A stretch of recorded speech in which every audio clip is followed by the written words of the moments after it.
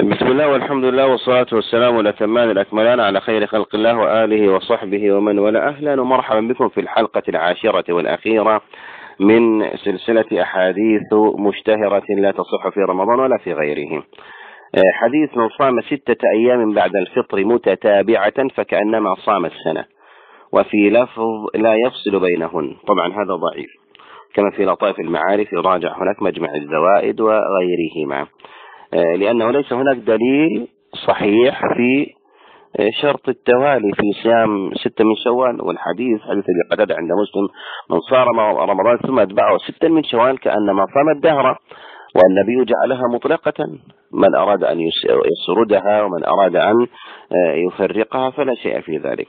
حديث من صام آخر يوم من ذي الحجة وأول يوم من محرم ختم السنة الماضية وافتتح السنة المستقبلة بصوم جعل الله له كفارة خمسين سنة. موضوع. ولذلك دائما هذه رسائل تجي في الواتس اللئيم يقول لك يعني افتتحوا السنة بصيام واختموها بصيام. هذا حديث موضوع باطل. ينبه على ذلك كما في المصنع في الأجهزة الموضوعة وفي الموضوعات ابن الجوزي وفي الفوائد وغيرها. ولذلك لا تخص بداية السنة. ولا نهايتها بصيام ولا بقيام ولا بعمل وكل هذا من البدع. نسأل الله العافية والسلام. حديث ما من أيام أحب إلى الله أن يتعبد له فيها من عشر ذي الحجة. يعدل آه، صيام كل يوم كل يوم منها بصيام سنة وقيام كل ليلة منها بقيام ليلة القدر. حديث ضعيف.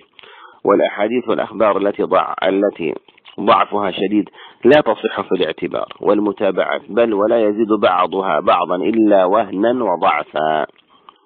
ويراجع في ذلك شرح السنة وعلل الدار قطني وغيرهما. وطبعا الحديث هذا يعارضه حديث البخاري الذي أطلق الفضل فيها ما من أيام العمل الصالح فيها حب إلى من عشر ذي الحجة فأكثر فيهن من التهليل والتكبير والتحميد. ولم يقل أن الصيام فيها يعدل السنة لليوم ولا القيام فيها يعدل قيام ليلة ليلة القدر.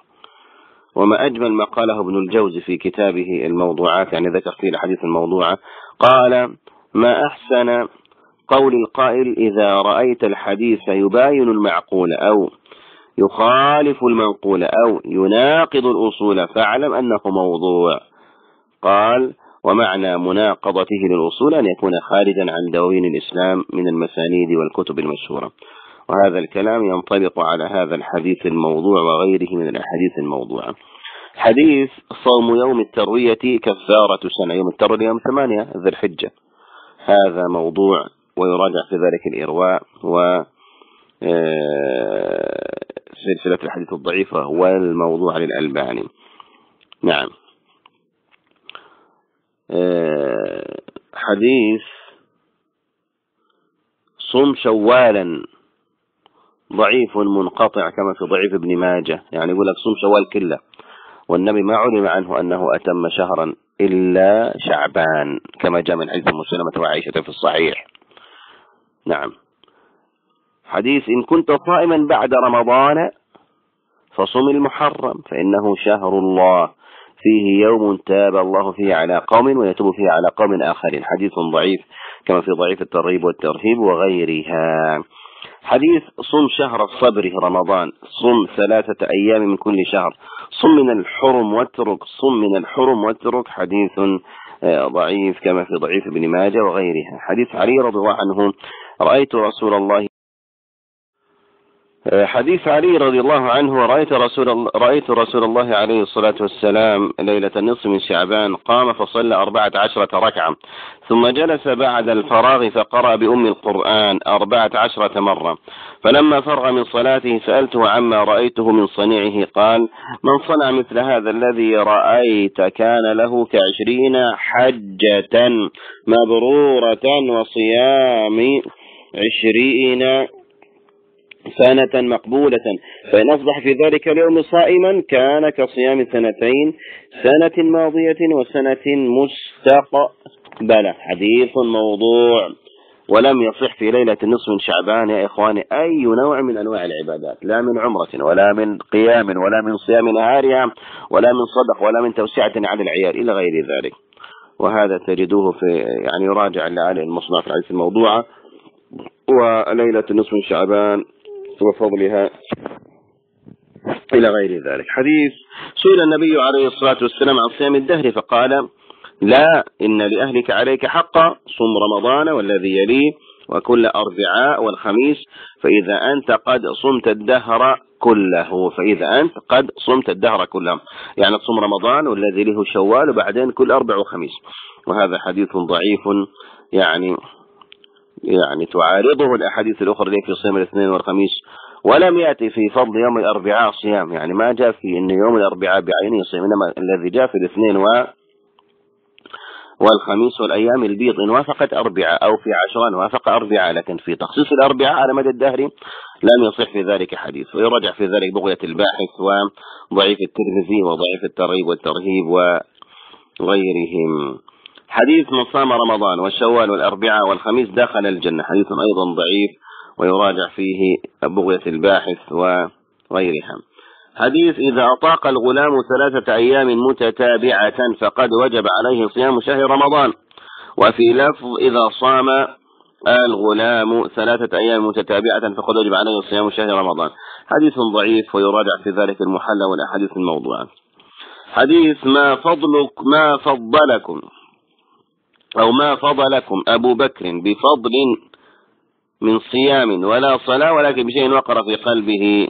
وفي رواية ما سبقكم أبو بكر بفضل صوم ولا صلاة ولكن بشيء وقر في قلبه. هذا الحديث لا أصل له مرفوعا لا أصل له مرفوعا. ويراجع في ذلك سلسلة الحديث الضعيف وغيرها.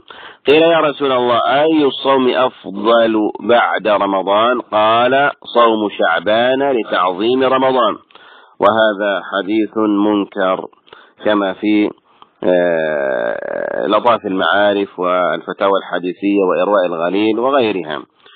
والمتن كما ترون فيه نكار يقول ابن حجر ويعارضه ما رواه مسلم من حديث أبي هريرة مرفوعا. أفضل الصوم بعد رمضان صوم المحرم وفي رواية شهر الله المحرم.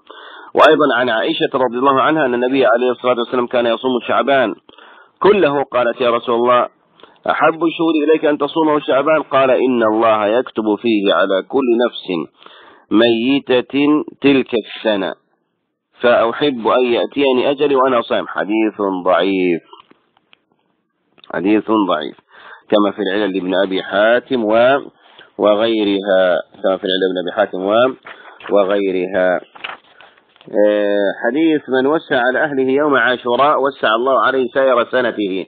ضعيف جدا ومن جميع طرقه حكم على شيخ الإسلام بالوضع. نسأل الله العافية والسلام. ويراجع في ذلك آه، تمام المنة ويراجع في ذلك. الفتاوى المهمات وفتاوى اللجنة الدائمة. نعم. حديث صوموا يوم عاشوراء وخالفوا اليهود صوموا قبله يوما وبعده يوم. هذا ضعيف مرفوع ويصح موقوفا عن ابن عباس ويراجع في ذلك الروض المربع للبسام وتحفة الأحوذي ومسند ابن خزيمة. نعم. حديث إن في الجنة نهرا يقال له رجب ماؤه أشد بياضا من اللبن وأحلى من العسل من صام يوما من رجب سقاه الله من ذلك النهر. حديث موضوع كما في الآثار الموضوعة وسلسلة الأحاديث الضعيفة والموضوعة وفتاوى اللجنة الدائمة. ولا بد أن نقول لم يرد في شهر رجب ولا في صيامه شيء عليه الكلفة والعمل. نعم. ويقول ابن القيم وكل حديث ذكر في ذكر صوم رجب وصلاة لياليه فهو كذب وافتراء. آه، حديث إن شهر رمضان معلق بين السماء والأرض لا يرفع إلى الله إلا بزكاة الفطر أو في رواية لا يزال صيام العبد معلقا لا يرفع إلى الله إلا بزكاة الفطر وفي رواية صيام الرجل معلقا يرفع إلى الله إلا بزكاة الفطر كلها أحاديث ضعيفة كما في العلم متناهيا وكما في آه، سلسلة ضعيفة. حديث إن الله إن النبي عليه الصلاة والسلام كان يأمر بزكاة الفطر قبل أن يصلي العيد ويتلو هذه الآية قد أفلح من تزكى وذكر اسم ربه فصلى حديث ضعيف كما في موسوعة ابن حجر مختصر الزوائد. وإن كان نعم زكاة الفطر تكون قبل الخروج إلى الصلاة نعم لكن لم يرد ذكر هذه الآية. حديث أدوا صدقة الفطر عمن تمونون يعني تقومون بمونتهم ورعايتهم. حديث أيضا ضعيف ويراجع عن الأوطار والدار قطني وغيرهما. حديث أن رسول الله عليه الصلاة والسلام فرض زكاة الفطر وقال اغلوهم في هذا اليوم وفي لفظ عن الطواف يعني عن الطلب. هذا أيضا ضعيف كما في يراجع عن الأوطار وفي المحلى والمجموع وسلسلة آه، الأحاديث الضعيفة وغيرها. حديث سئل رسول الله عليه الصلاة والسلام عن هذه الآية قد أفلح من تزكى وذكر اسم ربه فصلى فقال أنزلت في زكاة الفطر. أيضا ضعيف جدا كما في ضعيف الترغيب والترهيب وغيرها. حديث صدقة الفطر عن كل صغير وكبير ذكر وأنثى يهودي ونصراني وملوك.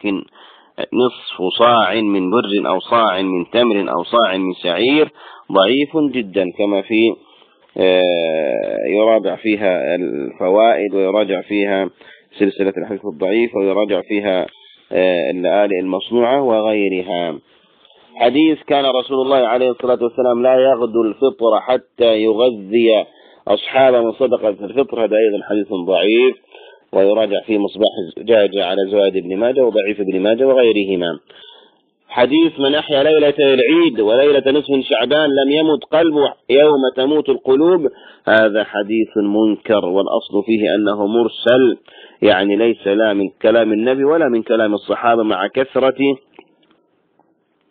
ما يذكره الخطباء والوعاظ وينهجون به بإحياء ليلة العيد وفعلها أي أعني إحياء ليلة العيد من البدع يراجع آه، العيد المتناهية ويراجع آه، أيضا آه، فتاوى اللجنة الدائمة. حديث من أحيا ليلة الفطر وليلة الأضحى لم يمت قلبه يوم تموت القلوب. حديث موضوع كما في إتحاف السادة المهرة وفي فتاوى اللجنة الدائمة. خمس ليالي لا ترد فيهن الدعوة أول ليلة من رجب وليلة نصف من شعبان وليلة الجمعة وليلة الفطر وليلة النحر موضوع حديث موضوع كما في السلسلة الضعيفة. حديث من أحيا الليالي وجبت له الجنة ليلة التروية وليلة عرفة وليلة ليلة التروية وليلة عرفة وليلة النحر وليلة الفطر وليلة النصف من شعبان.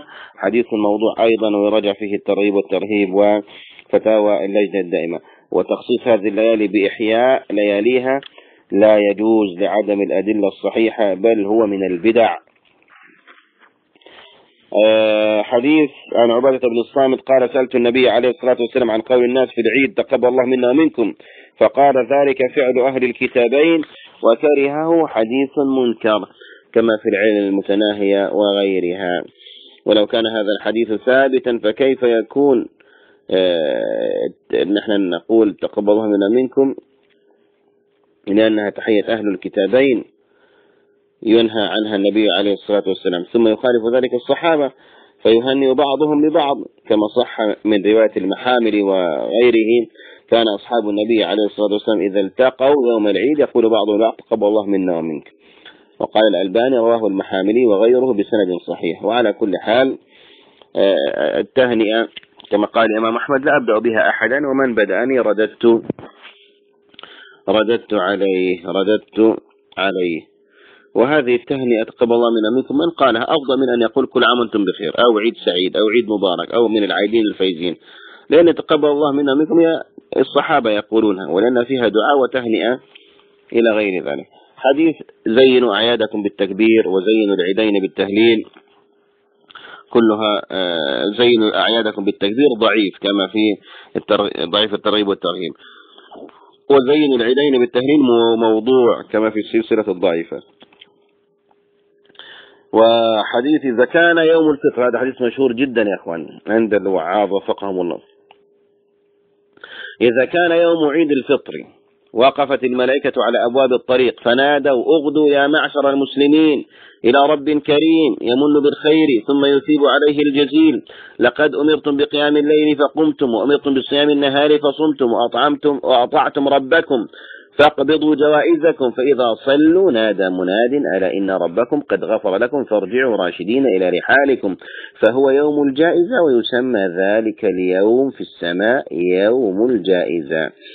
هذا ضعيف ويراجع فيه الترغيب والترهيب وضعيف الترغيب والترهيب ومسند الطبراني الكبير. حديث يوم الفطر يوم الجوائز إذا خرجوا إلى المصلى أعطوا جوائزهم. حديث ضعيف. إن الله لا يطلع في العيدين الأرض فأبرزوا من المنازل تلحقكم الرحمة. حديث ضعيف كما في السلسلة الضعيفة.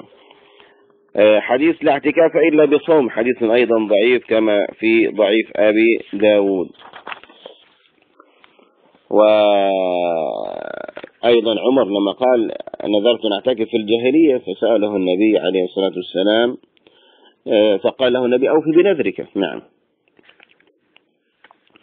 وحديث لا اعتكاف إلا في مسجد جامع لا يصح مرفوعا إنما هو موقوف إنما هو موقوف على بعض الصحابة.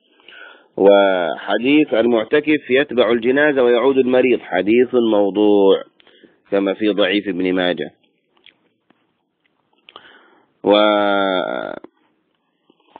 الأحاديث الآن التي ذكرت في الأضاحي نذكرها أيضا. ما عام ما عمل آدمي من عمل يوم النحر أحب إلى الله عز وجل أحب إلى الله عز وجل. من إهراق الدم وإنه لتأتي يوم القيامة ولا تأتي يوم القيامة بقرونها وأشعارها وأظلافها وإن الدم لا يقع من الله بمكان قبل أن يقع على الأرض فطيب فطيب بها نفسا. هذا حديث ضعيف في الترمذي في السلسلة الضعيفة وغيرها. وأيضا حديث يا فاطمة قومي إلى أضحيتك فاشهديها فإنه يغفر لك عند أول قطرة من دمها. كل ذنب عملتيه وقولي إن صلاتي ونسك ومحيا ومماتي لله رب العالمين. لا شريك له بذلك أمرت وأنا أول المسلمين. قال عمران قلت يا رسول الله هذا لك ولأهل بيتك خاصة فأهل ذاك أنتم أم للمس... فأهل ذاك أنتم يعني أهل لهذا أم المسلمين عامة؟ قال لا بل المسلمين عامة.